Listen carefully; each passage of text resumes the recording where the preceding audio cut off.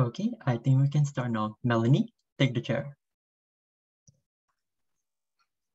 So good morning, afternoon, and evening to everyone around the world. Welcome to the first session of MSGA Academy Financial Literacy Series, the Financial Health Check session. So before we start, here are some house rules to follow. First of all, do remember to mute your microphones throughout the session to prevent disturbance for other participants turn on your webcam, and it is advisable to insert your questions in the Slido link provided in your email or the link in the chat box. Other than that, please be patient if there are any technical difficulties and we will try our best to resolve it as soon as possible. And lastly is to enjoy and learn. Another reminder for all participants is to rename yourself to your registered names to ease the registration process and for recording purposes in order for us to um, record for the certificate of participation.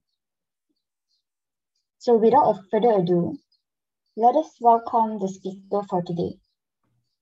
Next slide, please. Next slide. So today, let us invite Steve Lim, the Chief Learning Officer of Affin Hwang Capital Management Berhad. Just a brief introduction of our speaker today. He graduated from the University of Hawaii with a double major in finance and accounting and is a chartered financial analyst charter holder. He joined Affin Hwang Asset Management in 2010 as Chief Product Officer he set up an academy to cater to the learning and training needs of various clients after taking role as the Chief Learning Officer in 2014. He has 30 years of experience in portfolio management, marketing, and product development for the fund management. Um, previous slide. Stockbroking, onshore and offshore private banking industry. So the stage is yours, Mr. Steve.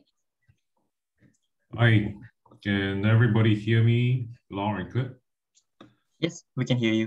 Yep. Okay. Uh, thanks for inviting me to talk uh, on this very important topic of uh, financial literacy.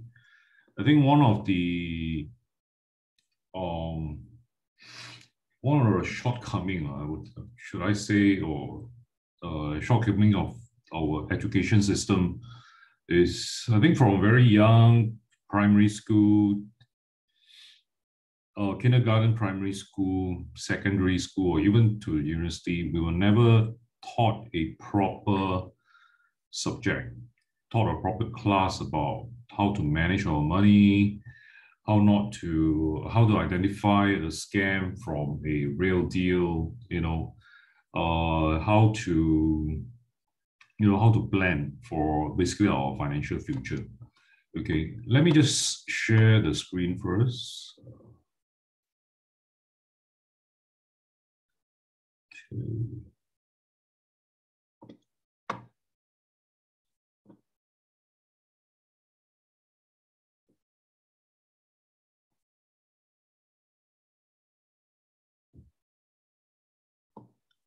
Can see? Yep. Okay. Yeah. Uh, why do I call this talk uh, financial health checks? Essentially, there are a few things that uh, it is like a it, it's like a, a, checklist. You know, the when I go through the different aspect of financial uh, planning, okay, you guys can probably quietly check off the boxes if you have done so. If you have not, uh, it means there are certain area in financial planning or the financial well-being or managing the personal finance, financial affair of a person, whether it's a student or a uh, uh, a working person. Uh, yeah, you, you check it off. These are all the all the areas that is going to concern us, whether now or in the future. Okay, uh, I think um, Melanie has already gone, gone through my experience. Uh, how I typically introduce myself regards to my experiences. I am my entire life I've been um, working as um, a financial person, basically counting counting other people's money. Okay, whether it's from a stockbroking side or as a uh, product developer. Okay, developing financial products for either the high net worth market or, or the mass market. Um, I've done fund management. You know, I manage other people's money. I have been an analyst before, looking at uh, mainly on the equity side, looking at stocks. And I've also done private banking, the onshore and offshore side of things. So I have um, surveys, I've talked to high net worth individuals, I've talked to pension fund, talked to uh, what else, insurance company and all that. So I'm, I'm a money person, pretty much money person, the entire spectrum of experience in the financial, in the finance industry. I think the only thing that I haven't really touched on is um, merger acquisition, corporate finance, um, debt capital market, that sort of things. Okay, the, the, so if you guys want to talk or you have questions regards to your career path, or your career choice. Uh, I'm sure some of you are finance major or accounting major, and you are probably wondering, once I graduate, where would I want to branch out? Okay, is there a special area I want to focus on? I want to, you want to be a fund manager, an analyst, a private banker, or you want you want to be an auditor? I mean, you can talk to me because I, I've I've done a lot of these kind of things and I can probably give you a a flavor as to how is it like being a private equity manager, something like that. Yeah. So the you can you can if you have question regards to your career in the finance industry, uh, you can also ask me. Um, when I do the presentation, I usually don't look at the chat uh, and I wouldn't know who is asking what. Uh, when you have, if you have a question, the feel free to interrupt me. Maybe just unmute yourself and ask um, verbally. Would, would that be okay, guys? Yep, that would be fine.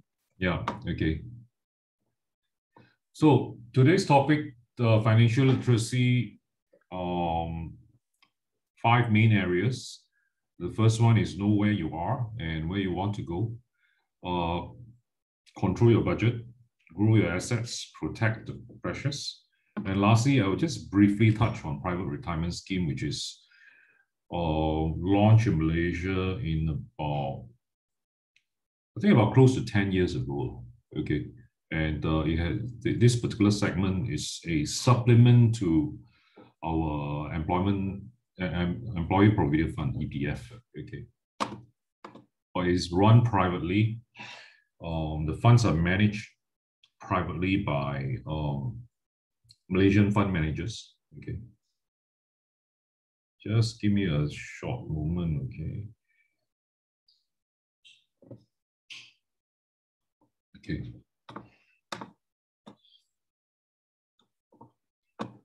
So our financial, personal financial affair, uh, I think just remember these four key terms.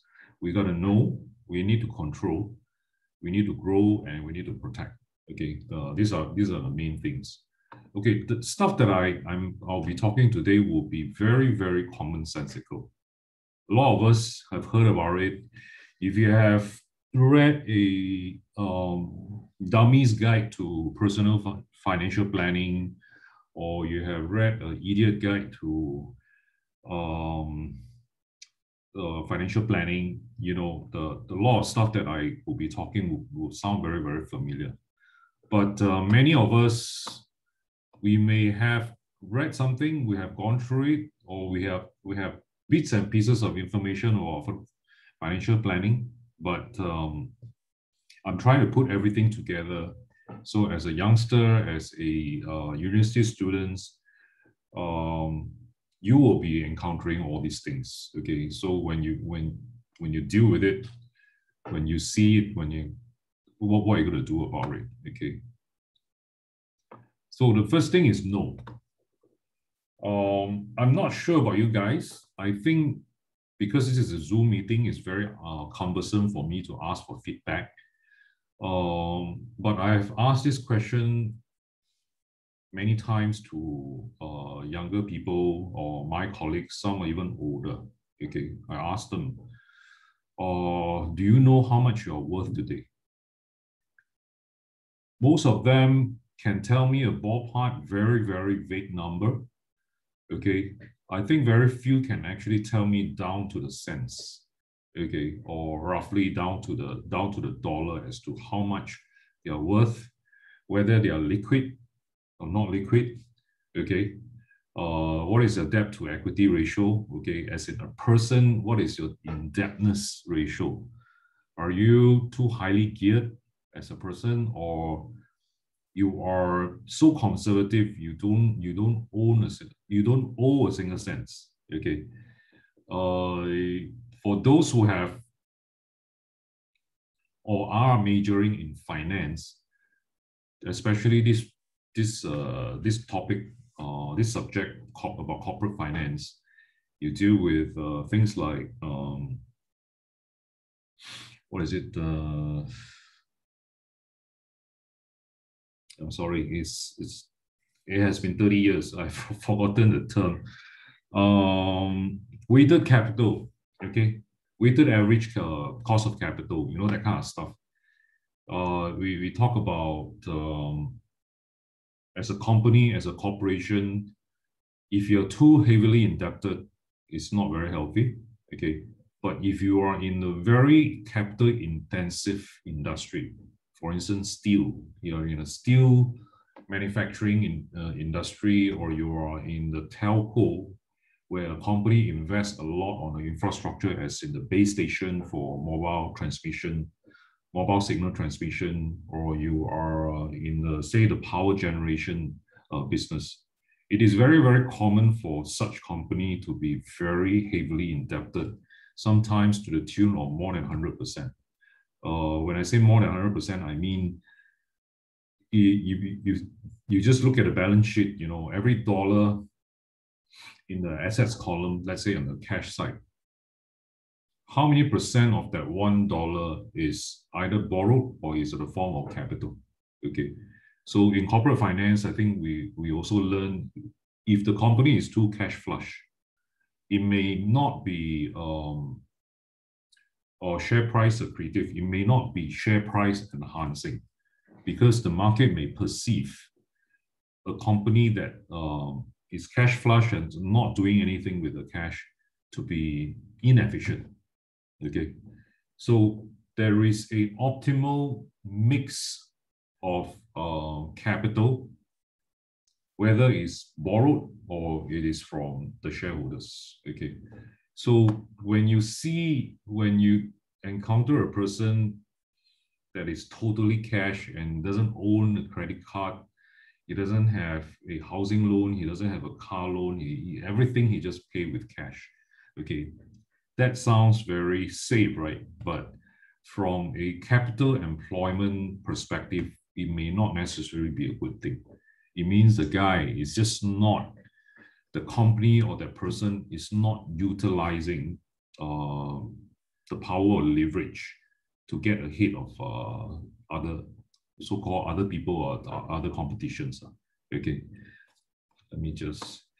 So when I ask, uh, I I keep a balance sheet of myself. Okay, I have my assets column. I have my current assets. Because I'm an accounting grad and also in finance, I did my uh, CFP, Certified Financial Planning, uh, before. Then I did my CFA. That's why I'm very, very money person. Okay. Uh, because of all this training, so very naturally, when I look at my own personal finan- financial affair, I treat it, I treat myself as a company. It's like operating company. I have assets, I have cash, I have FDs, and I also have so-called the fixed assets. I have my cars, my my properties, my um, say, arti- well, I I haven't bought any the expensive artwork. I can't afford it yet. But you know, basically fixed asset is not liquid. You can't just sell it within, you can't sell it off within a month. Say you were to sell a property, you will probably have to wait something like three months before you get your money. So those are like fixed assets, you know. Then on the liability column, you have your current liability, which would be would, would be your credit card credit card debt, right? When you when you charge your purchases to your card, you um you have at least you have to pay the minimum. You have a charge card, you have to pay everything on time. If not, uh, it will affect your credit scores, and the banks will come after you. Okay, and you also have a long-term liability as in your housing loan, your car loan. Okay, you only pay the installment, but not the entire debt is due on uh, on a monthly basis. Okay, then if you take your current uh, current assets plus your fixed assets minus your current liability and uh, long-term liability, you will have your net worth. Okay, so I keep track of my personal finances in that in that sense. So at this particular point, I can tell you exactly down to the last dollar how much I'm worth. But for the purpose of this webinar, I would not be telling you that. Okay, so uh, you can guess.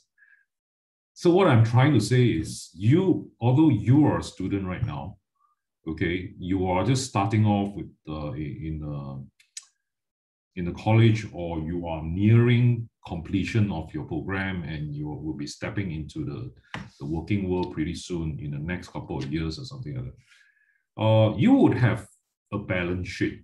Okay, you need not necessarily be uh, empty because along the way you may have worked part time, you may have uh, inherited something from from your parents. Not inherited. I mean you have gotten as a gift or whatever from your parents so you will have some assets, okay? Even if you have a, a you have an iPhone, you have an iPad, that's that's your assets, you know, your, your laptop and all that kind of stuff. So you have to ask yourself where you are today, though you haven't started working yet, okay? But you should just take out a piece of paper. It's very simple for accounting students, you know, it's just two, I'll show you the, the thing later. You must know where you are today and when you retire, say at the age of 60, where you want to be. Okay. We when we call Grab, when we call Uber to get to the destination we want to go, for something so simple, okay, when we when we open the app, we will search for destination, okay, and the app would ultimately track where we are. We know exactly where to go from where to where. But our personal financial journey uh, is very, very important uh, journey. I asked 10, I think probably nine and a half will tell me they have got absolutely no clue. Okay, so what I'm trying to do today is to probably urge you guys um, to take a look, take a hard look at yourself where you are today financially and where you are where you want to be safe in five years 10 years uh, all the way to uh, 30 35 years when you retire okay and only with a sense of direction as to where you are and where you want to go can you plan it properly you will decide if i okay i'm, I'm actually working hard part-time in a college cafeteria I'm getting this uh, salary, usually minimum salary. If you're working on, if you're studying in Australia and um, and Canada, very likely uh, you're allowed to work off campus.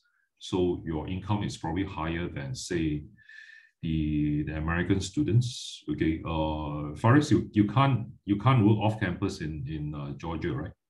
No, I'm not allowed to. Yeah, you're not allowed to. But the Canadian um, students and Australia, UK, I'm not so sure. I don't. They are they are allowed to work off campus. Okay, and uh, though their salary is not very high, but they are um they are getting a lot more than say the American students. Okay. So your financial objectives is uh, why do you need to have a financial objective? Because ultimately, when you when you retire, you will be thinking of holiday abroad. You're thinking of maybe you want to set up a charity fund for the homeless people, for the stray animals, for uh, whatever cost that you care about. Okay, it could be for for the environment, for uh, green, basically green uh, initiatives or anything.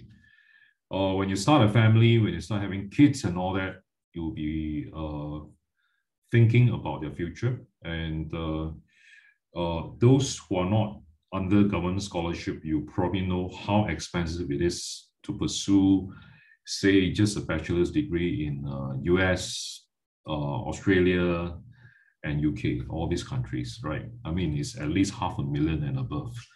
So if you if you want to send your kids uh, overseas, okay, and uh, you, you need to plan, okay, when you need to plan, especially the moment your kids hit 18 years old or 17, uh, school going age, very likely you are approaching, not really, not retired yet, but approaching the retirement age where you may not be so productive. Okay, when I say so productive is you may lose your job. Okay, you may get uh, retired earlier than than you wish. And I can tell you, I um, a couple of my friends, they're not so lucky. I'm still uh, gainfully employed. Uh, they're not, not as lucky as me. They got laid off, say, at the age of um, maybe 52, 53. Okay, I'm 55 to this year. I've got five more years to statutory retirement age of uh, 60. So uh, I think within this five five years, uh, if I don't do anything critically wrong, I think I should be uh, employed until I, I, I retire. But if in between, say at 49, 50, 51, 52, you got laid off for any reason, and your kids are going to school, okay, and they need that money, uh, I can tell you it's extremely miserable. Why? Because when you are at that age, typically your salary will be quite high okay, your salary will be five figures um, with all sort of perks and all that. Okay, most company, if they have got the reason to retire you and you're not productive anymore and your skill sets can be replaced by somebody younger and cheaper, uh, the chances is there that you can potentially lose your job when you need it the most to accumulate the basically to, to have income to pay for your children's education. So children's education is a big thing, okay? Then uh, this morning I was uh, giving a webinar on retirement, uh, retirement planning. Uh, I actually formulated a spreadsheet to help um, the participants step by steps to go through uh, the entire process to determine how much they need to retire is a little bit more detailed than just or a simple calculation of your last drawn, uh, sorry, your last expense divide by divide by the, let's say the FD rates, you know, to know how much you need to accumulate in order to give you a sustainable monthly uh, returns to sustain the, the post-retirement lifestyle. Okay. So your financial objective, what, what do you want to do? You know, what's your, what's your lifelong dream? Uh, well, the those who I mean, Jack Ma has got a very famous saying. You know Jack Ma of Alibaba thing? Okay, Jack Ma has got a, a very famous saying. He says, um, "Money is actually not that important." Okay, for somebody as rich as him to be saying uh, things like this, I've lost quite a bit of respect for this guy. okay, because come on, you have got billions. Of course, you can say whatever you want, okay? But I haven't made my money. Money is important. And uh, uh, why am I talking to you today is um, I, I think every single one of you should manage your finances to the extent that you reach some sort of financial freedom in, uh, in the future so that you can do what you want to do not what you have to do. That's very, very important. Okay. I'm sure many of you are uh, pursuing the study of your choice, but some may not be pursuing the study of your choice. You're doing it because it's practical, that it's going to get you a good job. Okay. But ultimately, I think your objective in life should be uh, to be able to do the things that you truly like to do, not something that you have to do. Okay. The only way to maintain some sort of dignity uh, is to essentially not have to work for the money, but to get the money to work for you.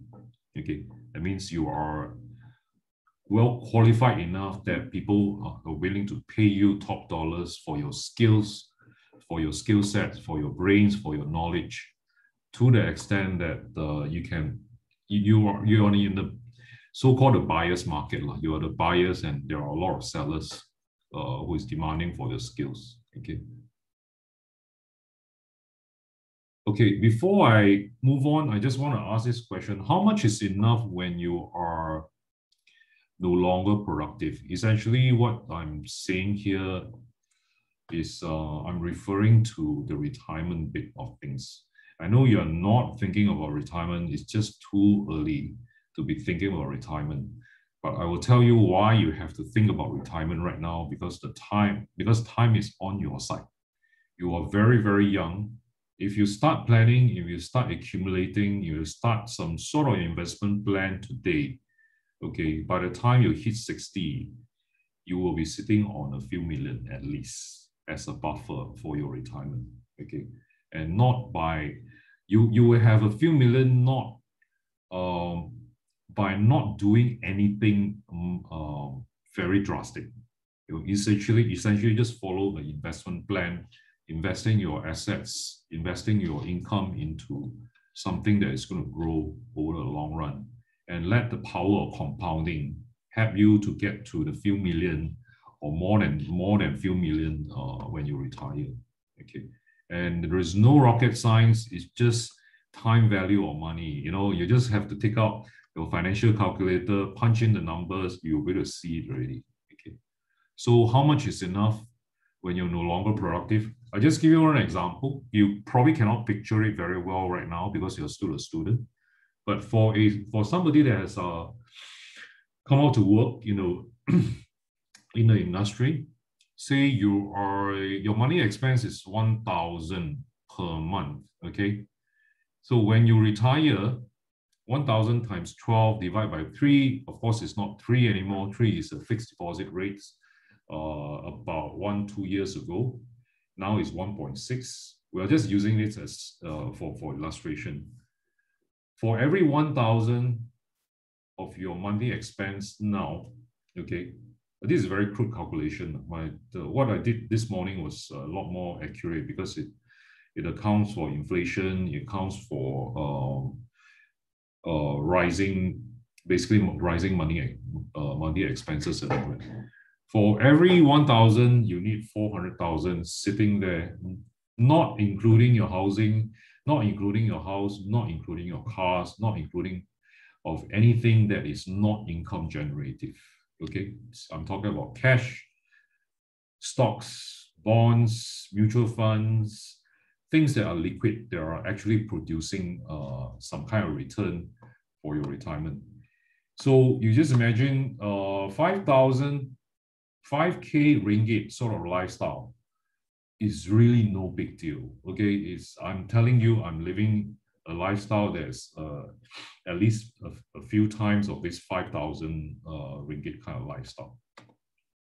But for a 5,000 lifestyle, you times four, 400,000, you need 2 million cash sitting in your account when you reach the age of 60. If not, the moment you cross 60s and you go into retirement, your life, uh, your lifestyle, your standard of living will start declining because you just don't have enough to sustain what you used to enjoy uh, when you're working. Okay, so this is a very very simple yardstick. If you're living a 10,000 lifestyle, you know you will need uh, you will need 4 million in your account when you reach uh, 60. Okay, So we are still on this topic, know where you are, okay? Uh, take a snapshot of this. Uh, if you are not an accounting student, you're not a finance student, this is probably foreign to you. So you have your liquid assets, you have your cash, your fixed deposits, your, uh, of course, some of, nowadays, uh, some of your money is actually parked in the e-wallet, you know, your stocks investment, your, your mutual fund, your fixed assets, whether you have a car, you have a house, anything that's fixed. Anything that is fixed that has got a little bit of value in case you need it you can do a garage sales. Okay, garage sales is not a is, is not an in thing. It's not a common thing over here. Uh, Faris, you you you can probably relate. Uh, in Georgia, uh, when a family wants to move away, they don't want to carry everything. Uh, they will do a garage sales. Sometimes they will do a garage sale just to get rid of the junks. Okay, they'll open their garage, whatever they need to sell, they just they just chuck it into a garage or sometimes on the pavement for anybody to drive past and say, hey, you know, I think this rice cooker is still looking good. Uh, it's still in pretty good shape. Um, can you sell it for five five bucks? You know, something like that. So unless it's something that you can at least do it with uh, get rid of in the garage sales, otherwise it's pointless to include it in this particular statement. Okay, it must be something of value. Then the, on the liability side, your car loan, housing loan, these are all long terms, uh, long terms liability. Then you have your shorter term one will be your credit card, charge cards bills, your personal loan, or if you owe your friend money, I think it should belong here unless you have no intention to pay back. Okay, then you would not be a liability. Okay, so you take all your assets, you minus all your liability, that's essentially uh, what your net worth is. Okay, everybody has got a net worth, whether it's big or small. Okay, if you're Jeff Bezos, you're Bill Gates and all that, this particular column here will be some astronomical, astronomical number in the billions. Okay, what does net worth actually mean? Net worth actually means when you're not around, okay, uh, touch wood, if something happens to you and you meet God, okay, your so the surviving member of your family would be inheriting this net worth. They will have to take over your assets, pay off all your debt, and this is exactly what they get. That's the meaning of net worth. Okay, I mean it's, it's my my meaning of net worth. Okay, um, so do something like this for yourself. Try to see where you stand, because without knowing where you are, it's very, very difficult to determine where you want to go. Okay. So after you're done that, uh, the balance sheet, do an income statement for yourself. Uh, this is basically monthly, weekly, or whatever budgeting. So if you're a student right now, you probably don't have a lot of income. You probably don't have a primary income yet, but you have a little bit of secondary where you moonlight as a uh, librarian, you you go and uh, work in a caf uh, cafe, uh, or you you work in a uh, McDonald's or KFC's or, or Pizza Hut uh, in in in Melbourne or Sydney or or some American or Canadian cities. Okay, so you will have your income. It may not be stable. It may not be something constant. Uh, some certain weeks you work 20 hours, certain weeks you work the 25, 30, and whatever. Okay. Then you take out all your expenses. Okay. This is more applicable to somebody who has come out to the to the workforce, was starting to work. You have a primary salary that's pretty much fixed. Then secondary, maybe you have a hobby, you like to bake cakes, you sell cakes uh, over the internet, or you know how to, you, you have a hobby of making knickknacks uh, clay animals or whatever, you know, that you're very good at it and you are selling it on the internet um, uh, for pocket money. Okay, that will be your secondary income. So after you paid off all your rents and all your expenses, everything, okay, including entertainment. Uh, say you like to go clubbing, you like to uh, uh, hang out on the weekends with friends, and these are all all these should be uh, taken into account. And I just need you to remember this, this term excess, okay? When you're working, when you do up an income statement or profit and loss statement in the UK, UK they call it profit and loss statement, in US they call it income statement. Okay, when you do this particular budget for yourself, and every month is a negative down here or the deficit, okay, you need to do something about it. Okay. Uh, why? Because without excess, you would not be able to do a some sort of investment plan to ensure you know your plan your investment grow into something that you can retire with okay if this is constantly negative whether it's in the form of a credit card debt or a personal loan or uh, whatever whatever form of liability okay um, resulting in deficit after deficit every month, okay, uh, you need to look at your primary source of income, secondary, can you boost it or not? Can you bring this up? After that, you have to look at the bottom, can you reduce it? Can you lower around in terms of your uh, standard of living? Can you be a bit more thrifty? Uh, instead of driving, say, a uh, talking about US cents, uh, you, uh, instead of driving a 30,000 car, can you drive a 15,000 car? Okay, and, and paying a, a smaller loan. Um, you're staying in a, you're staying alone in an apartment right now, okay, and you are paying a thousand bucks. Can you share the room with another guy and pay 500? You probably have to do that, okay?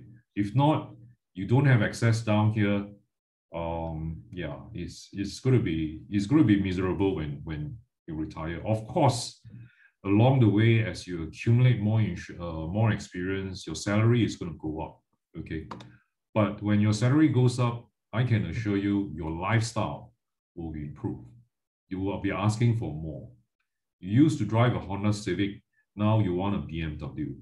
After you getting a BMW, you're looking at a Porsche, right? I mean, the huge human needs, uh, human greeds is uh, essentially in, insatiable. So you would be looking to upgrade your lifestyle as and when you get a pay rise or you get a fat bonus uh, in, in a certain years. Okay. Uh, one way, in fact, the smarter way is not to increase, not to improve your lifestyle or the living expenses, even if you got you have extra due to uh, a pay rise or a bonus because all this should go into your investment plan to put less pressure into the into the future, okay, to generate the required sum for your retirement. Okay. So remember this excess. So how excess can build your net worth is a very, very commonsensical thing, but uh, I'm just trying to do it more graphically so that you can see how do you increase your net worth? This particular column down here, essentially you need to increase your assets and decrease your liability. It's as simple as that, okay? Even if you're very, very rich, okay, say you're from a very rich family, there is a very, very good chance that your assets are not managed optimally. That's why we have to look at this statement, list down all our assets, and look at and stare at the cash See, after you have done this, you realize your cash is like 80% of your net worth. Then you got to start asking yourself really, am I too conservative or not? Okay. When this particular column here, the liability is huge, you know, it's like, it is like for your every net worth, every cents here, out of it, the 80% is coming from here, you know. Then you got to ask yourself, am I too highly geared? Because I'm I keep paying interest and I don't have I don't have extra to build my assets column here, right? Okay. So the, the, even if you have a lot of money, the, um, like we consult our client, I used to be a private bankers in Singapore with Credit Suisse uh, and later BNP Paribas, uh, the Swiss bank and the French bank. Um, I deal with um, very, very, very rich people, okay? I think out of my 20, uh, out of my 30 clients, at least about five to 10 of them are public listed company bosses. Okay. I've flown first class. I have dined in the most expensive restaurants. Uh, I've done all these things. Okay. Um, and I know how they think. When I talk to them, they are like, um, most of them would say, uh, Steve, could you just give me about 200% above, tre- uh, 200 basis point above treasury sort of return. I'm very happy already. Um, don't give me 15, 20% sort of return. It's too risky, you know. The return is good, but that means I would have to subject my investment to something uh, a lot riskier. Okay, so the rich people, they could be rich, but their assets are generally not optimally deployed or managed. Okay. So you know where you are, you know where you want to go. Okay. I, I the where you want to go, I'll probably cover it very briefly later because you're just too young to think about uh, uh, retirement. But you roughly you know if you are a if you are if you are spending about 5,000 today, okay, ringgit, let's talk ringgit. If you're spending 5,000 today, very likely uh, you need at least about 2 million uh, to retire. Yeah, period. It's, it's that simple, okay. Then uh, you also need to know your risk profile and I need to split risk profile into toler tolerance and capability, okay. Um, and they are very very different things okay a lot of people look at uh, when you when you walk into a stockbroker's office you want to open an account you have to fill out the kyc know your cap know your customers uh, uh, questionnaire okay the stockbroker or the bank manager would need to know your profile your risk profile so that they can recommend um, investment that are you know, uh, com basically commensurate with your your your your risk profile. But they typically just mention risk profile, which is not the full picture. Okay, the full picture is risk tolerance and risk capability. I just give you two uh, a few examples, uh, then you will know where you are, where you stand. I grew up. My parents, okay, this is just example. My both of my parents are teachers. Okay, they are university professor. The other one is a high school teacher. From young, they taught me to be thrifty, to be careful with our money. They're just very, very conservative people. Okay. Um, then um, uh, just a moment, let me kill this call. Uh, I'm in a webinar, bro. I'll call you back. Okay, okay, Yeah. bye. Sorry.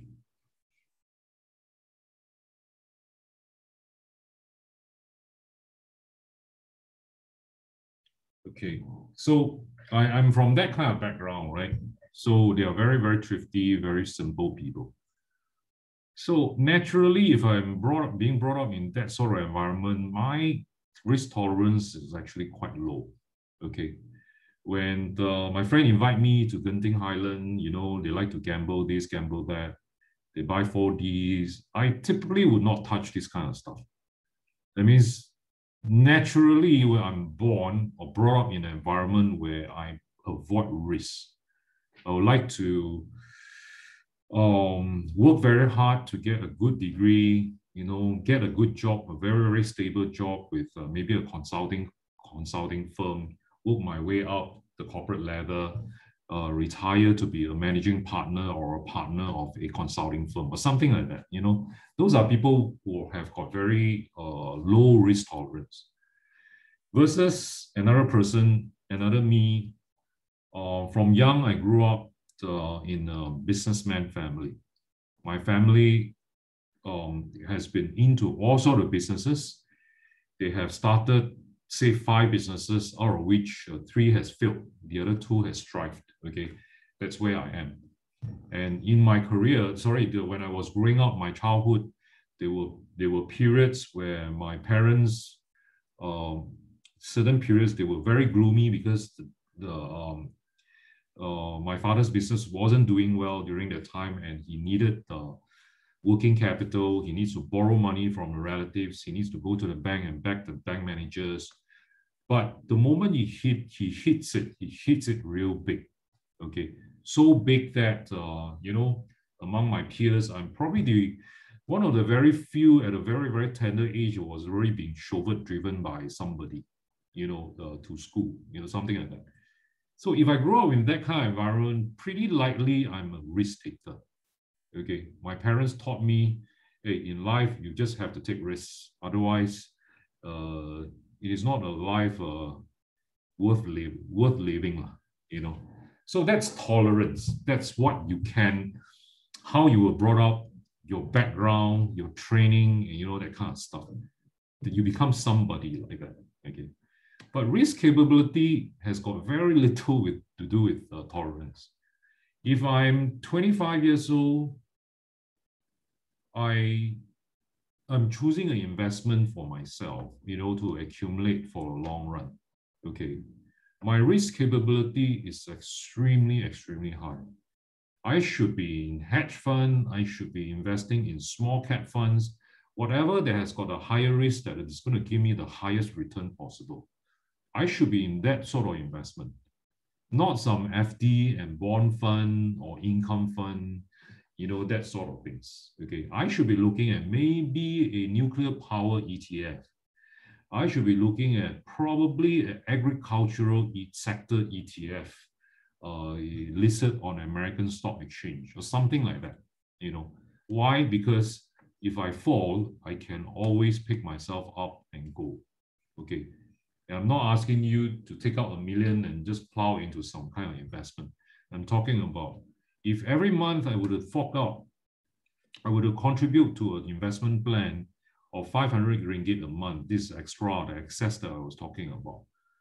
How much can my 500 ringgit grow to in 30 years if I would religiously set aside 500 I automate the deduction from my, my salary slip, my salary account, okay, to invest in this thing without uh, without bothering anybody. Basically, it's automation. Uh, either via a standing in instruction or you can give a some sort of instruction from to the uh, mutual fund company to deduct from certain bank account a certain sum at a certain time or uh, certain date of the month okay so that you can automatically investing in something that you think is going to grow over a long run okay so that is risk capability this to, um, today I'm 55, five more years to retirement. I'm not sure if my boss will continue to hire me.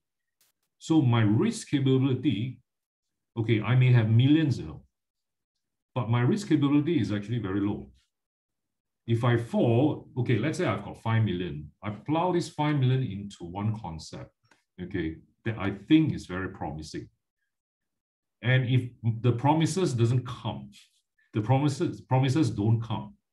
Okay, I have very little time to fight back.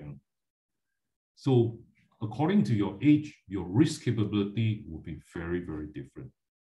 Faris, your risk capability is super high. My risk capability is super low. Simple as that. Okay. So you need to know this. You, you, you as a person, you have to. So for somebody as young as you to be putting all the all your money in um, in fixed deposits, in bond fund, in all the instruments, investment instruments that's going to, just going to yield you, uh, you know, two to five percent. You, you are basically doing a dis, a disservice to your to your own financial affair. Okay, because S and P 500, I will show you the chart later. Okay, so I know my I know where I am. I know where I want to go okay, then I got to start planning how do I accumulate to, to get there. I already know my risk profile. So at a very, very tender age right now, I should know the appropriate level of risk I should take. If you're taking too little risk at this age, you are not doing yourself a favor because you have got a lot of time to accumulate and you you can split the entry point into uh, 240 or 360 every month you know, entry point. So essentially, for you to be investing in something very risky and very high risk, by virtue of you splitting into a monthly monthly investment, would have mitigated most of the risk away already. Okay. So after this, after know your your financial position, you need to start controlling. Okay. Um, when I was in my twenties, I was quite active socially. So I go out go out to drinks with my friends, and you know those days, uh, I still remember my first uh, starting salary was thousand three. That was thirty years ago. Thousand thousand three ringgit here. It's also thousand three ringgit in US. I used to work in Honolulu.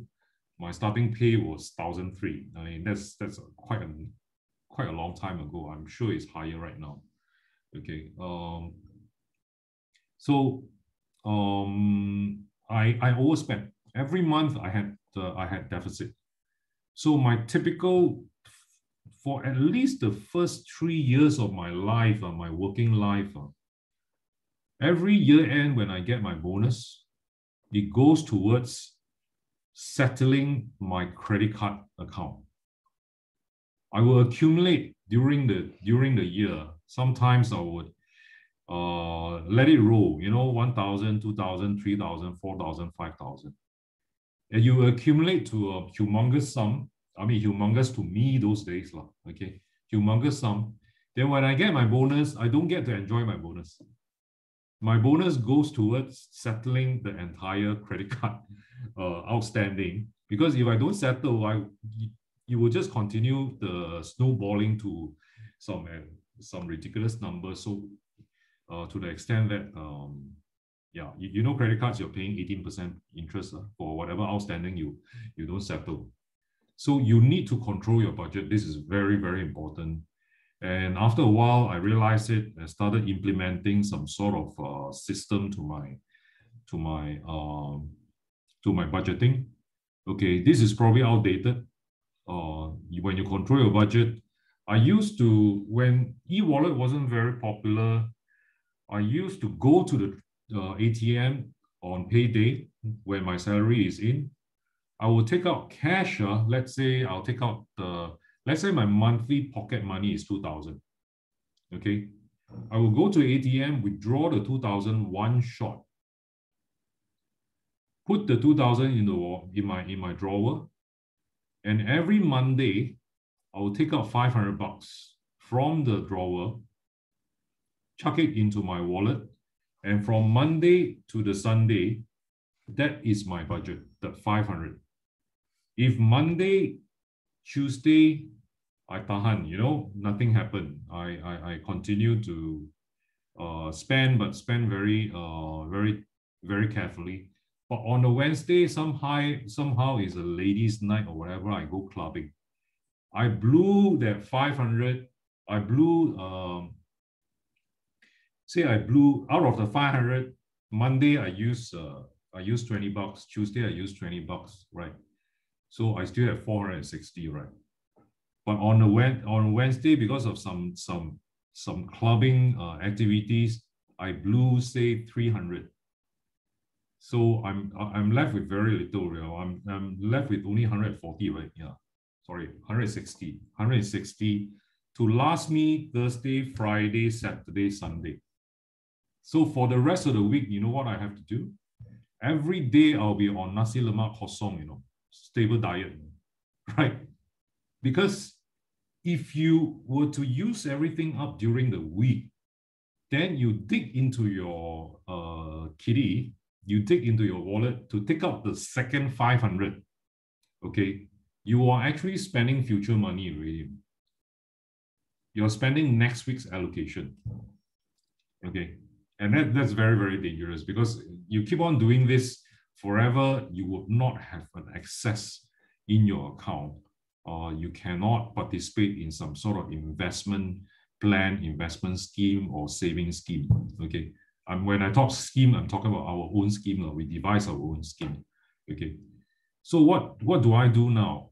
Uh, in, in fact, it is such a it's such a good discipline uh, that if you can save Monday, Tuesday, Friday, Thursday, Okay, Monday, Tuesday, Wednesday, Thursday, Friday.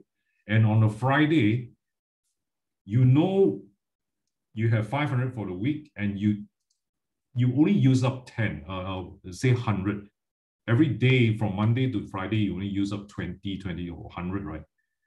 So for the remaining Saturday and Sunday, you have 200 each. Uh, you can do wonders, you know, you can reward yourself. Buy yourself a nice shirt or, you know, uh, buy your buy your friends a nice meal, go go for a, go for a concert, you know, something like that. Okay, this is financial discipline mentally. When you have that sort of mental uh, discipline, you will enjoy. When you spend the money, you will enjoy. You say, "Hey, I, this is this is really really." It doesn't matter how rich or poor you are. It it does not matter. Okay, the humblest people are the richest. Some of those uh, some of those richest people, they are the humblest and the more, more uh, the, the thriftiest people. Okay if you're from a very, very rich family and you don't need to live like that, um, ah, I got nothing to say. Like, you're not my you're not my target audience. my target audience is the masses. We are not uh, born with a silver spoon. We have to work our way, way up. You know, we have to deal with uh, all these things. And I take it as a challenge. Uh, I rather be common. I rather be common like everybody else. I go through the grind.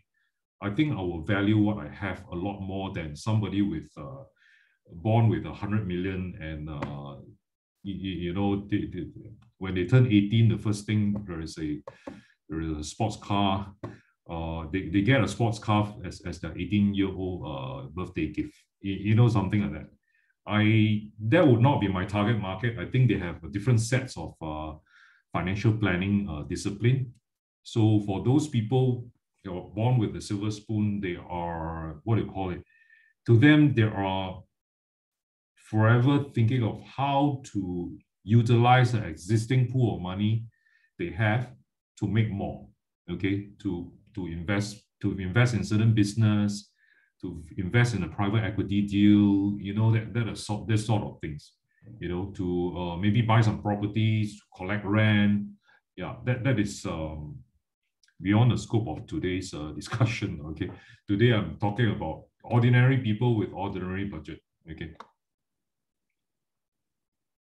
Yep. Now e-wallets very very popular. I love to use my Touch and Go. I love to use my Grab Pay and all that kind of stuff. How do you control your budget with e-wallet? Same thing. Instead of taking out 2,000 cash now, I take out 1,000 cash I reload 500 into Touch and Go, I reload 500 into uh, into GrabPay. I use it like normal. So when I see my Touch and Go uh, uh, so-called the balance uh, uh, dwindling, I know I, I have to I have to spend less already. If I look at Grab, you know, the balance is declining very quickly. I I just have to uh, basically uh, spend less. Then the 1,000, I split it into four. Every week, i just take up 250. Because the other 250, I'm, I'm deducting from, I'm using uh, my, my e-wallet to pay. Okay. Don't, uh, don't underestimate this, this uh, budget thing uh, because how many of you can tell me very honestly you can budget so well that you never overspend? Every month you want to contribute 500 or you want to contribute 200 into your investment plan, you would have it. You don't have to borrow uh, from friends or you don't have to cheat yourself. You have to, you don't have to cheat yourself. This month I'm supposed to put 500 in, but because I overspend, I'm putting, I'm only investing 200. Okay, then you're cheating yourself already. And I will show you later with the uh, compound the future value of uh, compounding, how powerful it is. I mean, you you probably already know if you're accounting students. Uh, okay, it's no big deal. That good debt, bad debt. Okay, if you're a corporation, you also have to deal with good debt and bad debt. If I if I'm very successful in a business, I list the company, the company got listed, you know, I got I got a lot of windfall. The first thing I do is and I'll, I buy a fleet of 10 Mercedes for all my directors and senior managers. that sort of company you probably won't want to invest. Okay. They, they don't know where the so-called priority is. You should improve the welfare of your of your employee. You should be investing in R&D. You should be investing in uh, operation and method to make sure your manufacturing production uh, line is tip top. You should be investing in education of your staff, of your employee to make them more productive rather than buying a fleet of depreciating assets and just looking good. Okay. So likewise, if you're about if you're spending a lot of money buying a nice car that you can't afford, okay, you uh you take personal loan from banks. They like to offer personal loans uh, to uh, individuals like you and me, okay, and they will tell you the interest rate is actually very low. It's only about three percent or four percent. Okay, ask them a follow up question. Three four percent flat, right, is not monthly declining or or yearly declining balance.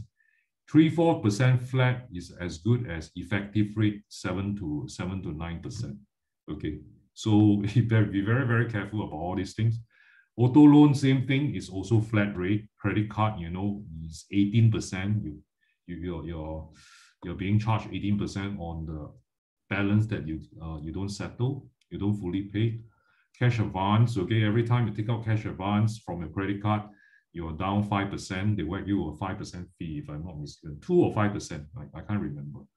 Okay, payday loan is essentially a personal loan. Okay. You can also take out a good debt, a student loan to get your education because it is going to increase your earning power. You buy a real estate that's going to appreciate in uh, over time. You know, mortgage real estate is the same thing. You take up debt to invest, this is uh, this is a little bit more uh, a, bit riskier. You have to be careful with that. Okay, uh, taking out debt to buy into stocks is called margin financing. Margin financing can make you very rich and it can kill you overnight also. Okay, essentially you're borrowing money that don't belong to you, put it into let's say a speculative stocks okay uh yeah it's, it's, it's dangerous um you borrow money to invest in a business say you want to open a burger joint you want to open a um a, a career you know you want to take take up a franchise you know something like that a bubble tea franchise or something like that as long as your business does well okay you are fine okay if your business is not doing well then too bad so you look at this column versus this column, all these are productive. You borrow money to invest in something productive, you will generate more money. Over here, everything you incur the debt is depreciating. You are investing in depreciating assets, uh, asset. That's why it's called uh, bad debt, right? Okay. So you need to control what did I say? You need to control your budget. You need to control your debt.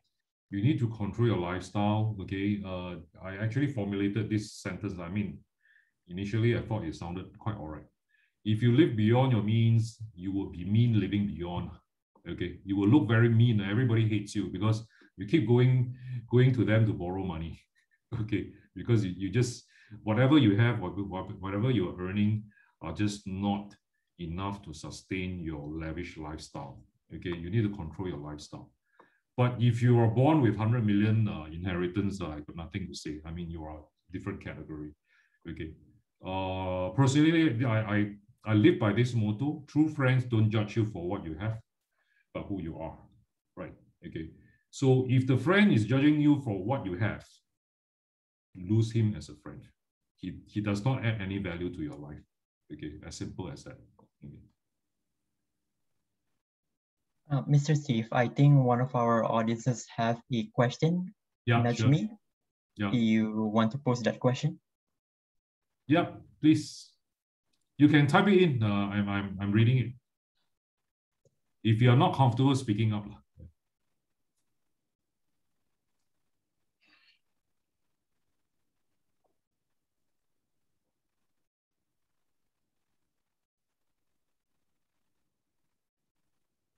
We'll give Najmi about 20 seconds. Okay.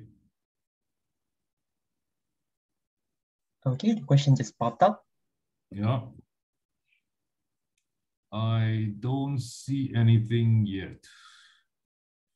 Oh, okay. I'm sorry. He direct messaged me.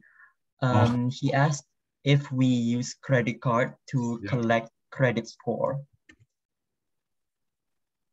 Yeah, I think it's absolutely fine. Okay. You know, credit credit card there is a interest free period. When you charge the card okay let's say your billing uh let's make it simple. Your billing your billing date is end of the month uh, let's say 30th uh, on the 30th so if you use your credit card from uh Jan from the 1st to the 30th okay uh say on the 29 you you swipe your card to buy something but it has not the it has not been posted to your account as that means the merchant has not submitted um, the the expense, I mean the, that purchase to the credit card company, okay, and it does not appear in your credit card statement on the 30th, then that particular purchase will be interest free for another month until the next uh, due date or uh, another month. So there is a so-called uh, interest-free period that you can use that to your advantage. But when you use a credit card, you have to assign a limit to yourself, not a limit assigned by the credit card company, which is usually very huge, right? You have to assign a limit because if not, you would be um, um, you, will lose track of how much you spend, and in the end, your budget will be will be haywire. Okay, so you need to know you already know you have the budget for that laptop and you're using the credit card to, uh, to buy the laptop to either accumulate points or take advantage of that interest-free window, okay, you can do that. But you must absolutely, you have to be extremely disciplined to control the balance and you need to settle it every month. Don't leave a balance there. It's ridiculously expensive, okay? In fact, it's cheaper to go and get a personal loan uh, than uh, using the credit card and not settle the, the entire sum and leave a balance there. Okay. Um, did I answer your question? Uh, Lashmi, is it?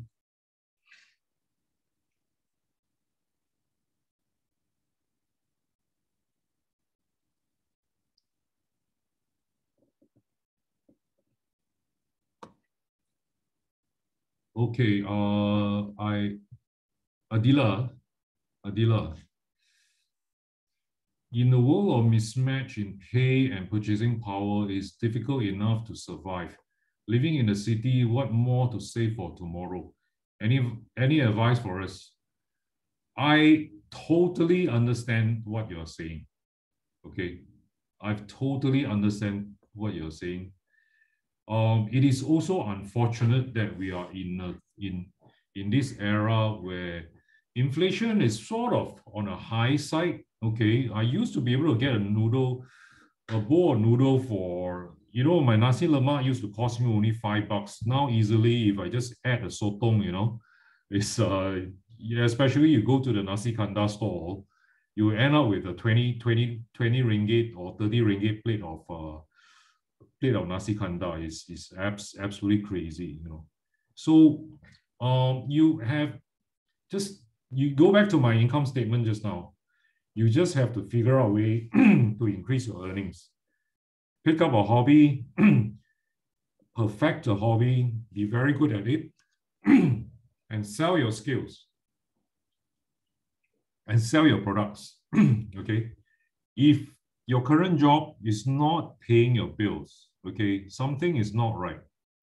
Either you have to you you have to maybe share a room or you have to reduce your uh, so-called expenses. I know it is easier said than done. I agree with you. You don't have to. Uh, Adila, I don't have to talk to you. I already know what you're going to say already because it's a very, it's a very very common problem. Okay, especially living in a big city like KL, uh, if you are in Melbourne, you're in Sydney, you're in uh, LA, San Francisco, and all that.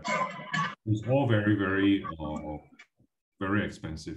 Okay, so you just have to think of a way to earn, either take up a additional qualification, or maybe you may have to moonlight a little bit.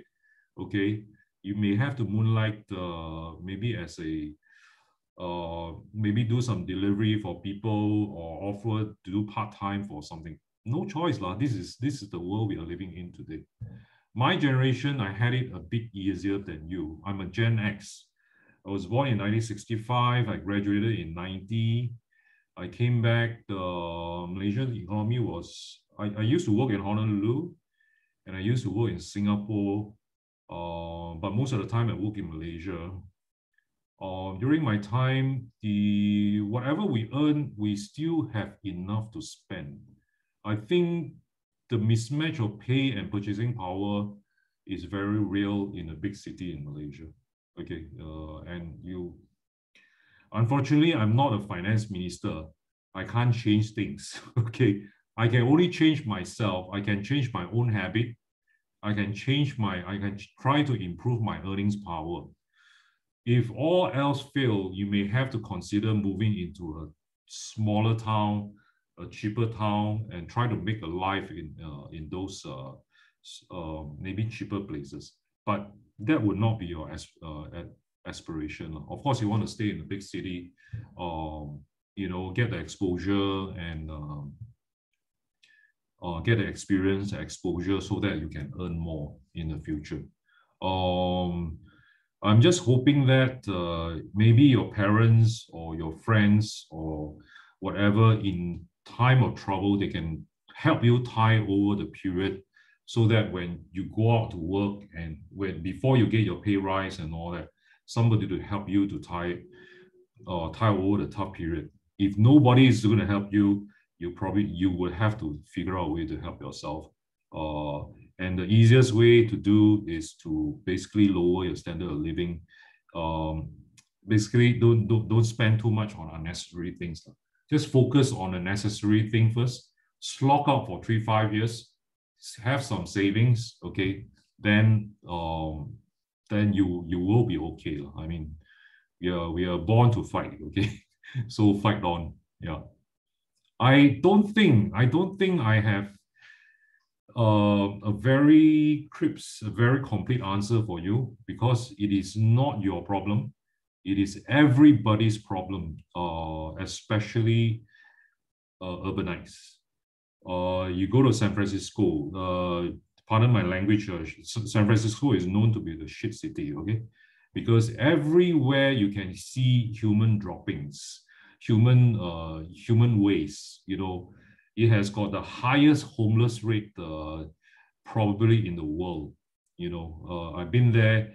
I happened to stumble upon uh, walk in a walk in a downtown, and I the the scene, the sight that I saw was not uh, was not consistent to San Francisco as and uh, Silicon Valley as the tech hub of the world.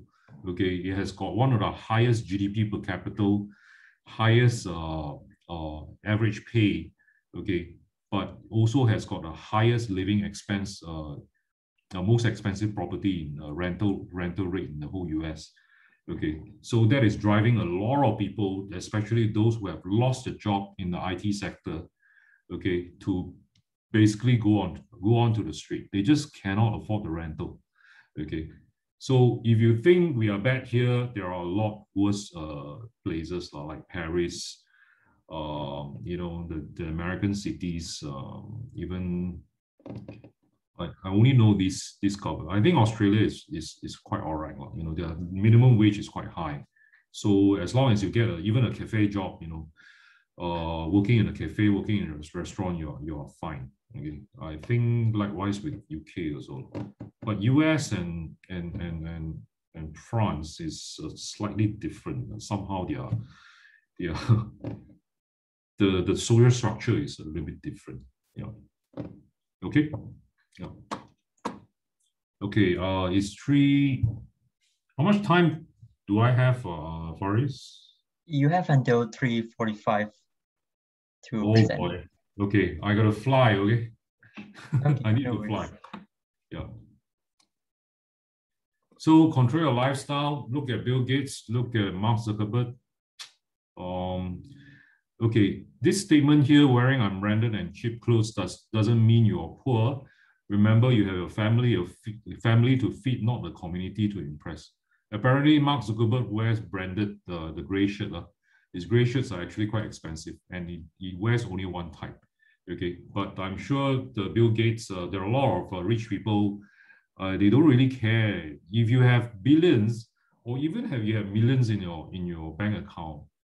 You don't have to impress other people you know. You you, you basically your your priority in life is very very different okay. Okay control your cost of debt.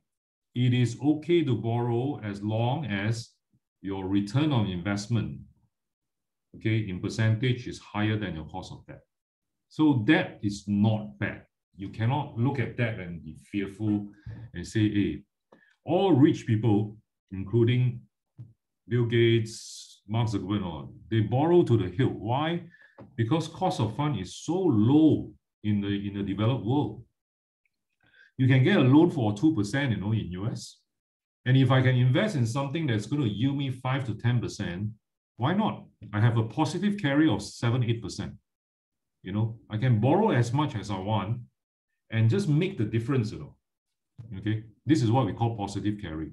The return on investment is higher than your cost of debt.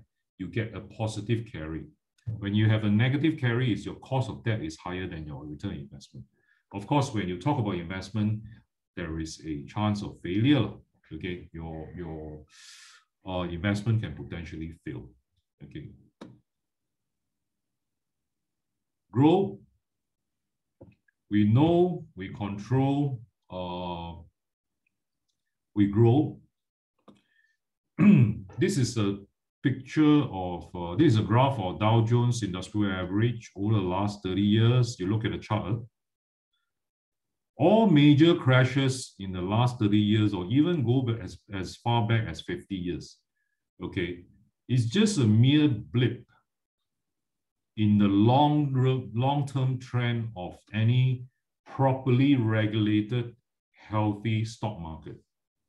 Us being one is probably the healthiest because of its uh, very very high uh, due diligence system very high um ex except the SPACs like you probably heard of the SPAC stocks uh very high requirement for listings okay show you another chart.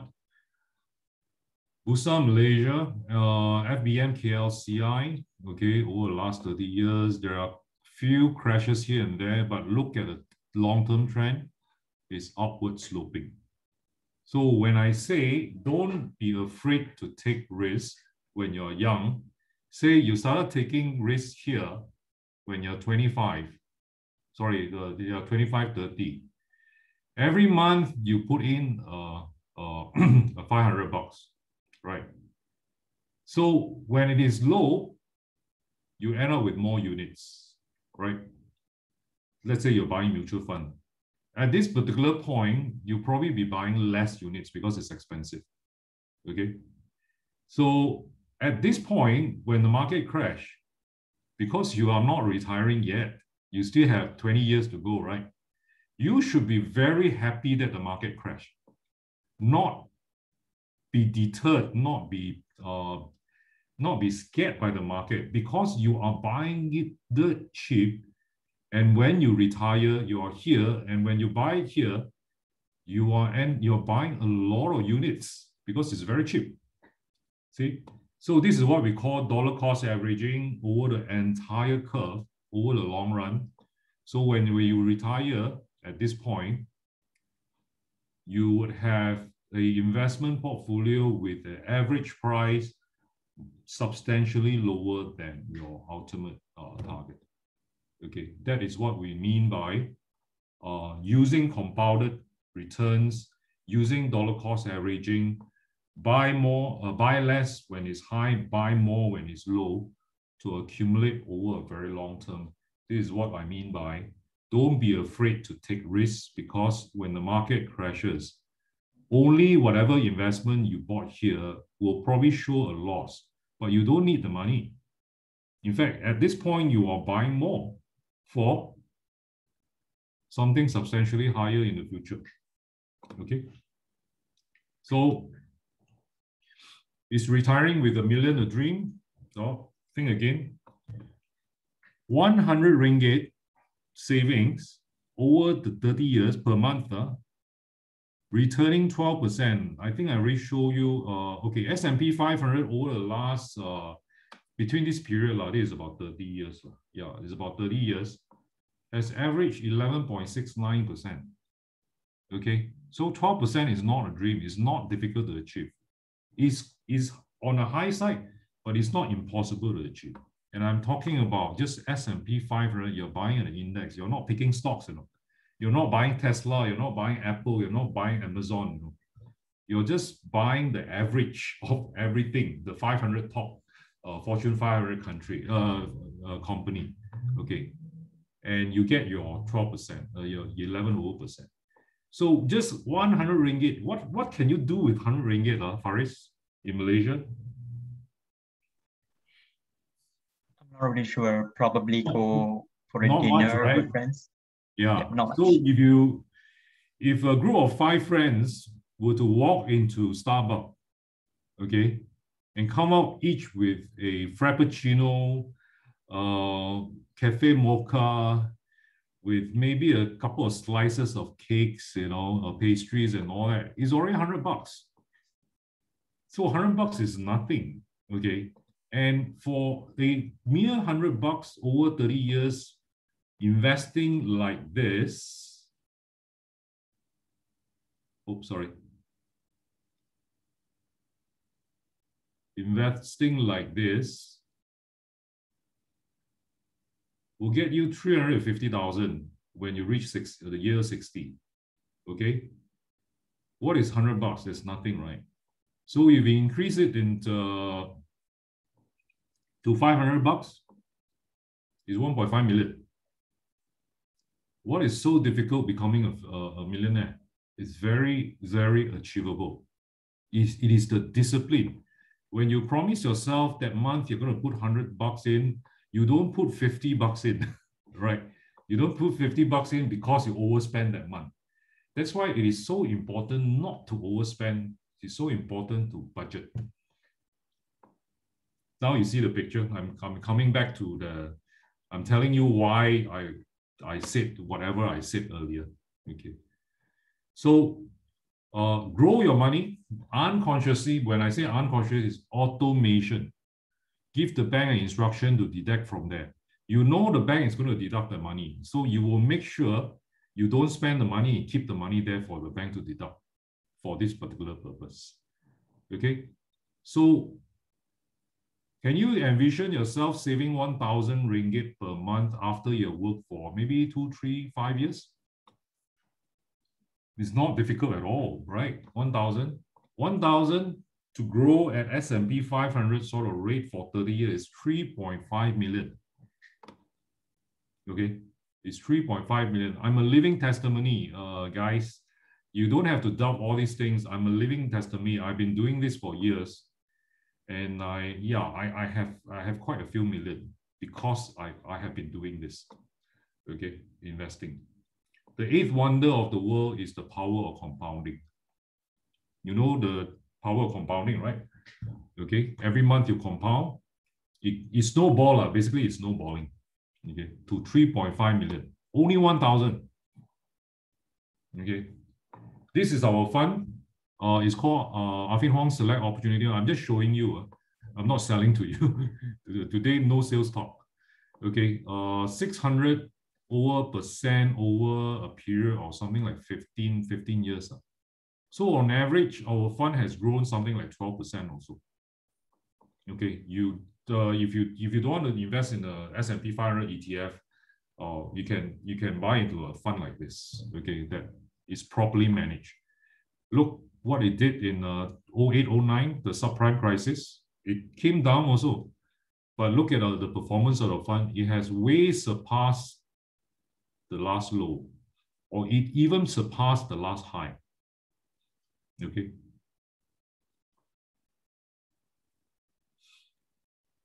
The last of that uh, subject, protect. Insurance is not something morbid. When an insurance agent, insurance consultant come and talk to you, don't turn them away. They are trying to protect you. okay, it's, it's very, very important. Insurance is essentially risk management. You're managing, managing risk in your life. Uh, you probably have seen appeals, you know, the um, people go into go onto the internet to appeal for uh, GoFundMe, you know, that kind of that kind of projects. Uh, you don't want to be in that position if, if possible. You don't want to be in, you don't want to be begging money because uh, your husband or your wife uh, meet a, with a car accident and is totally, totally uh, immobile, right? It cannot work. So the, the, the, the person who met with the accident is the sole breadwinner and the entire family of four to five, uh, your source of income just suddenly get cut off and you got no choice but to appeal to the public for donation. And how much, how long can you, uh, do you think people can donate uh, to sustain your life? Not very long, like everybody has got their own life to lead, right? Okay, so it is very important you protect your income, okay, against uncertainty and deterioration. Insurance, you should buy it when you don't need it. When you need it, you would not be able to buy it. Nobody wants to sell to you. Okay, those of you who are in finance major, you study about insurance, it's all about underwriting of risks, right? So if you are perceived to be a high risk factor, insurance company would not want to cover you. They are also a profit maximize, profit maximizing uh, um, uh, corporation. Insurance companies are not charitable organization. Okay, so they would not want to cover you. You should underwrite your risk if you are perceived to be too risky. Okay, is there another question? Um, yes, we have one question from the audience by Aidila. Will you advise getting a master's, etc., or better to work first? it's better to work first. Yeah. Otherwise, you will not be able to relate to the master's. Uh, whatever you do, whatever you learn during the mas- your master's program, uh, very likely you can't relate. Yeah. And um, uh, I, I just, I, I employ people. I, I run a department and I employ people. Okay. We don't really look at your qualification that your qualification is important. That gives you a basis that gives you a base layer of knowledge to function as a productive worker. But um, a lot of people has got masters nowadays, and they are not very impressive. You know, I have to say they are not very impressive. Either the college is not training them well, or they go and do a master for the sake of getting the paper qualification, but without the proper um, experience working in the real uh, real world so they, when it comes to problem solving and all that, they are actually not any superior than somebody who has uh, a bachelor's but has been working for let's say three five years. You know, they they they have been working for for a while. They know how to solve problems. Okay, but no, yeah, this is um, not advisable. Uh, if you can work say three years, at least about three years, lah, then go back and do your masters that's more more advisable. Yeah. I hope that answer answer your question, uh, Adila. Adila. Okay. Protect you, buy coverage, not how much you will get in the end. Okay, I, I hope I have got more time to go into this topic because a friend of mine uh, uh, major in actuary. He taught me a lot of things about insurance. Okay, uh, it's no point buying a endowment or life plan that save you a lot of money. At the end of the term, you get uh, a few tens of thousand back. No. Usually, those policy are extremely expensive. you will probably end up with a very, very low coverage. Remember, insurance is to protect you and your family when you cannot produce.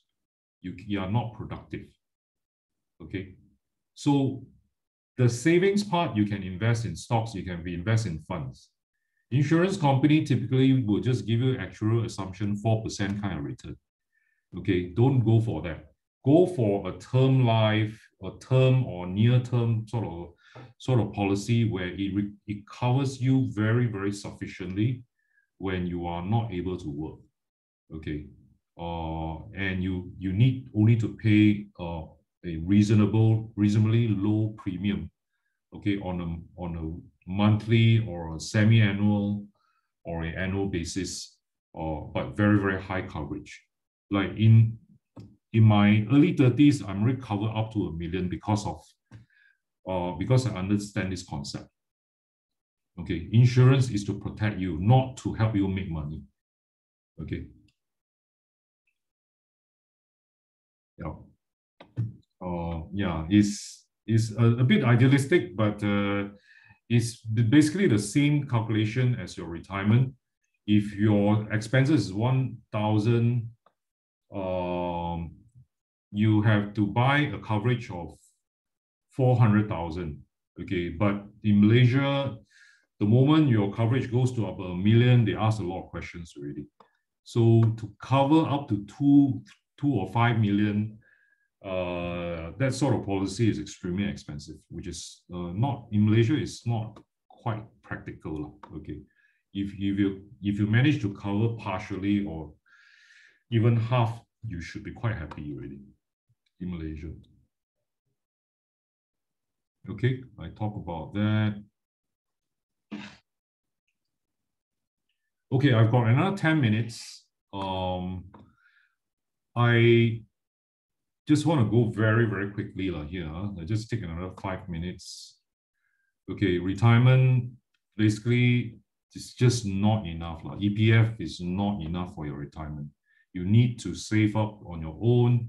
You need to probably consider buying PRS, private retirement scheme that gives you tax deduction, you know, the kind to, to, to supplement. Uh,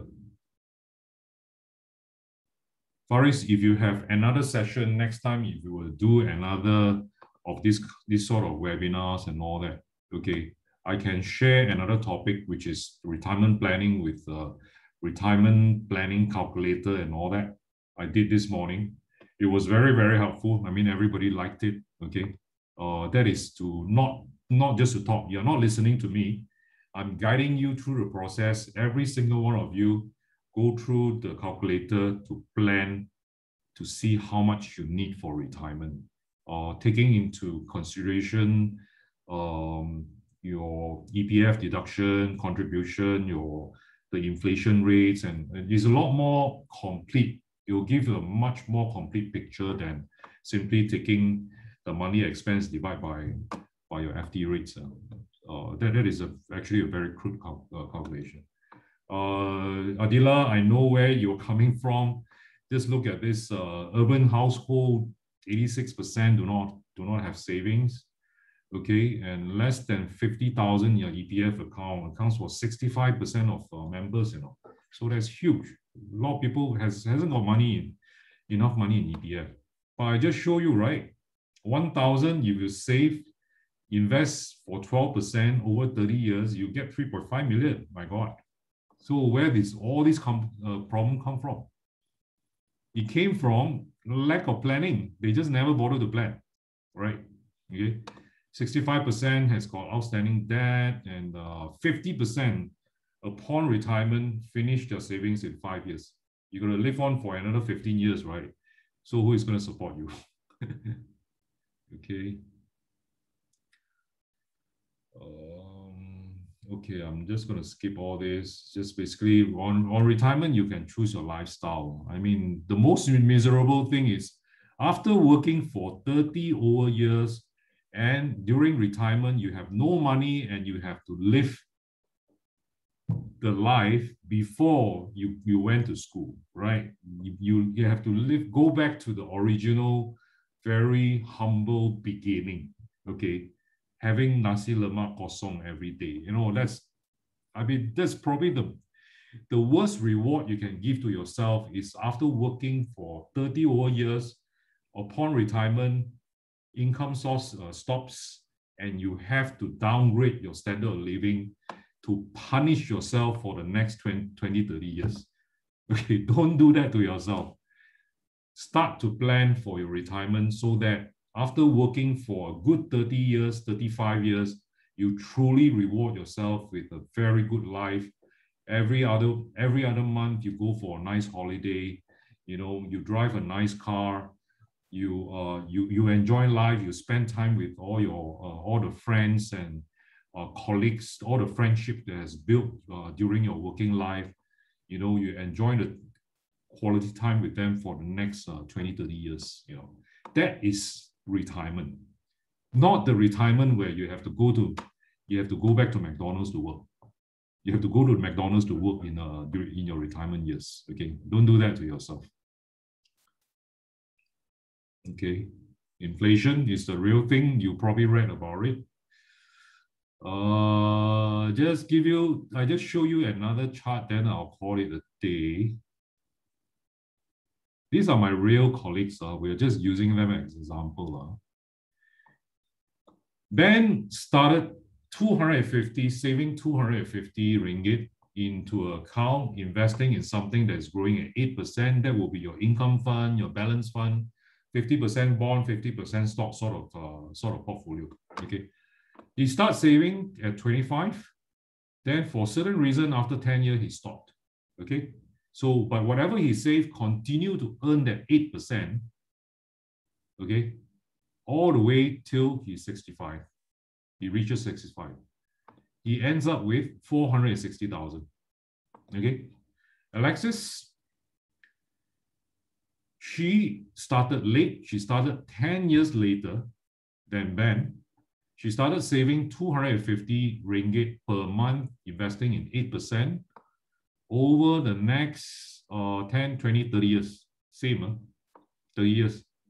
Hiatus of 30 years, 10 years savings, hiatus of 30 years. This is solid 30 years of savings. She ended up with 375, less than Ben. Pay 30 years, you know.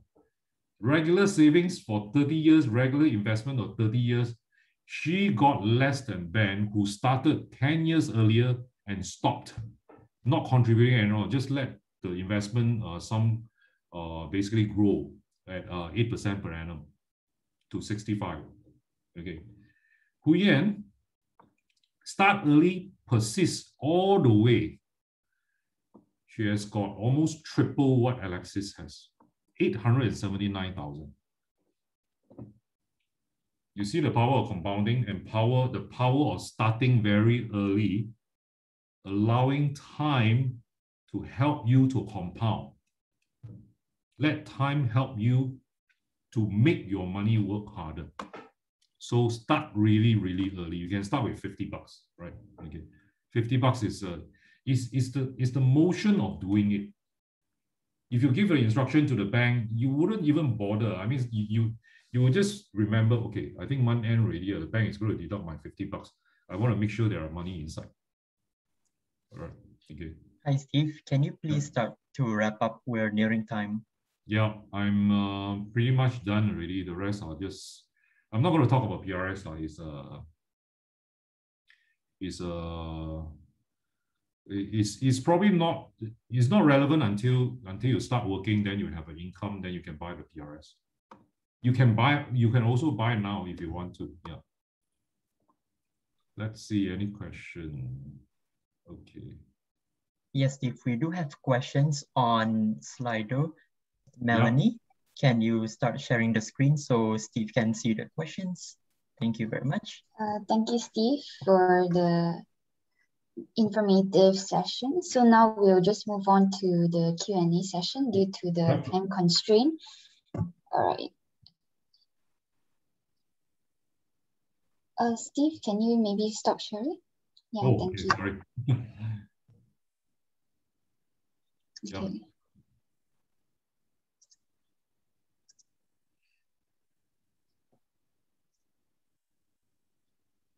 So here are the questions Mm, by okay. participants.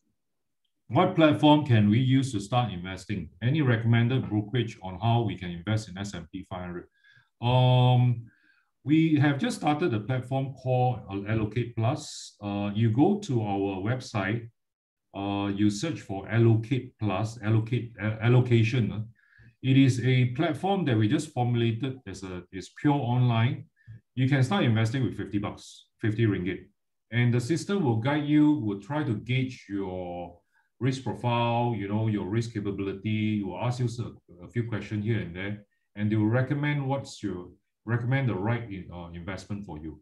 But those are mutual funds, okay? And because it's online, um, it has got virtually, I think, zero front end, zero sales charges and all that. But you still have to pay the management fee to the fund manager.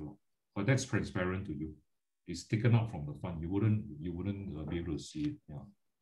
Um, S&P 500, you, if you are patient, you can wait for us because very likely we may launch one. Okay, we don't know yet. Okay, we are trying to see if we can do a S&P 500 from Malaysia. If not, you probably have to uh, sign up one of those E-Trade, uh, Charles Schwab, you know, that sort of accounts with a uh, online broker. Uh, Saxo, Charles Schwab, E-Trade, um, Rakuten, I'm not so sure. Rakuten, I think, is, is only restricted to Malaysia, Malaysian stocks. Okay. Uh, is real estate still a good thing to be investing in? I thought that market is already oversaturated and not increasing in value anymore. Every time government prints money after a crisis, stock market will go up first, followed by uh, real estate. Okay. If you are buying it for speculation, um, you have to be very careful. You are right, Ahmad. The certain segment of the market is very saturated. Uh, office blocks, office and retail. When I say retail, I'm, I'm talking about shop houses are very saturated. Okay. Residential in very prime, very convenient. Uh, let's say along the, the LRT, MRT one, two, three, uh, along public transportation, those are still very popular and that they can still hold value quite well.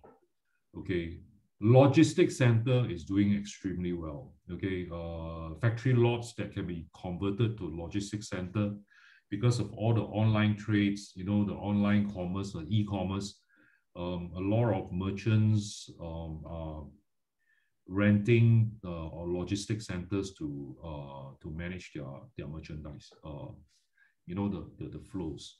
Okay, um, as a fresh grad, what kind of investment should we aim for financial stability? Everybody asks us to buy house first. Is that advisable? Okay, you are, I assume you're a millennial. In fact, millennials are quite open as to not owning house, you know, to actually go long-term on the sharing basis. Okay. Um, you buy a house when the price is low. When the rental yield is very, very low for the for say a house owner like me, I rent out my rental yield, I'm getting, I'm getting something like one over 2% or slightly above 2%. Then what, what the rental yield is saying, is saying is uh, house prices are relatively on the high side. Okay. It is actually more, it makes more sense renting it instead of committing a big sum of for deposits and then subsequently got to pay, right? Uh, in a situation like this, you only want to buy a house if you can see that uh, you expect house prices to increase, to go up uh, substantially over a long run. If not, when house prices are high, rental yield is low, it makes more sense to rent, not to buy. Okay. Um, what kind of investment should we aim for stability? Uh, I already told you already just now. Uh, invest in slightly higher risk when you're young, slightly higher risk, and do it very regularly. Regularly in small bits, bite size. If you can afford 100, just invest 100. You can do 50, just do 50. You can do more, just do five, do 500, 1000. Okay. And do it religiously over the next 30 years and stare at your 3.5 million uh, 30 years later. You know, have some kind of financial securities. Um, okay. Uh, if we do not have a sustainable income, is it advisable to invest? Are students that hold scholarship advisable to start an investment? Absolutely. If if you are getting a scholarship and you have extra, the extra use it to invest. Okay, it's God given. I mean, it's given to you, so make use of it. If you do not have a sustainable income, please also invest, but start very, very small. Okay, let's say your your let's say your income fluctuates between uh 2000 to 2000 to 4000 you know? And your so-called your extra excess fund fluctuates between uh let's say between 200 to 500 this is extra you have. Some certain month you have 200 certain months you have 500 if this is the case, stick with 200 or 150, slightly lower, but do it religiously for the next 30 years. Okay. Due to COVID, uh, I can't scroll down. Huh? Can you scroll down? I can't read the, uh, the question. Ah, due to COVID, most of the people, oops. Oh, where's the question? Oh, sorry. COVID, most people use up all your savings, we can, uh, how can we start our savings during this pandemic? Use up all your savings. Uh. I, you have to look for ways to, you have to look for ways to increase your income. Do a part-time job, take up a hobby, or do something about it. Okay. Uh, there, there are no two ways about it, unfortunately you need to have excess otherwise you cannot start a plan if you cannot start a plan you don't know you don't know whether you're going to retire retire penniless or you're going to retire with all your rich friends, okay, uh, together with all your rich friends. Okay. Uh, do you advise we get a personal financial advisor to manage our funds? For your age, um, I would I would really want to do my own homework. Okay, I really want to do my homework. Go and read up. There are just so much resources on the internet. Okay, just go to Google and say type financial financial planning, uh, how to invest. Uh, you know, go to Motley Fool, M-O-T-L-E-Y, Fool, F-O-O-L. Motley Fool is for beginners. It's a very, very resourceful website to teach beginners how to invest in all sort of instruments. And also there are a lot of lessons regards to personal finance on Motley Fool. Okay, and uh, Motley Fool is just one of them. There are many, you know, Investopedia, the lookup for terms. Um, there are a lot of, on EDX or Udemy, there are a lot of courses about investment. There are a lot of courses on, uh, on uh, personal finance. Okay, in fact, I asked my daughter to actually take up a, uh, a, a, a online course from a very, very reputable university. I think it's from University of Chicago or something like that, you know, and, and it's, it's free, you know, it's, it's, there's just so much resources. So do your own homework first before you uh, engage a personal financial advisor, okay? So that you would know when the personal financial advisor is BSing you, okay? Yeah. If we don't have sustainable income, is it advisable to invest, a student host? Uh, yeah, I already answered this question. Yeah. I hope I answer your questions. Okay, guys. Okay, yeah, thank you everyone for your questions. For now, we'll move on to the photo shoot session. So um, if you don't mind, uh, we would like to encourage you to turn on your webcam for us to take a picture.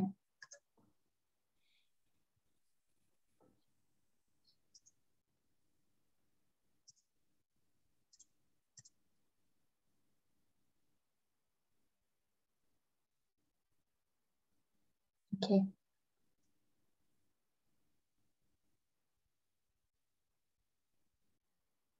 There'll be a few more seconds.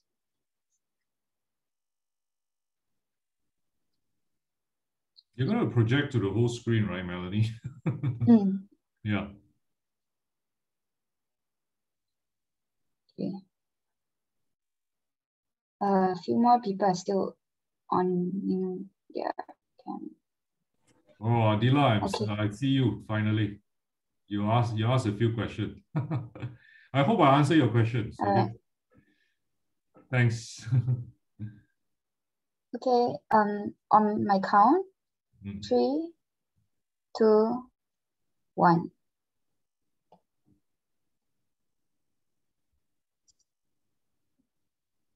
Okay, thank you. Yeah. Thanks, guys. I hope you guys learned something. Uh, I hope there are some takeaways uh, today. And uh, yeah. good luck to your studies and good luck to life. Uh, if you want to hear about retirement planning more detail, uh, talk to Faris. Uh, can arrange a come on for another session when when you guys uh, have uh, another session, another event. So um, unfortunately, this event has come to an end. Mm. So we would like to thank everyone today for joining us and we hope that you have gained valuable knowledge. So here's a reminder to all participants that we will be holding uh, next sessions on the dates as listed. Wait. Let me share the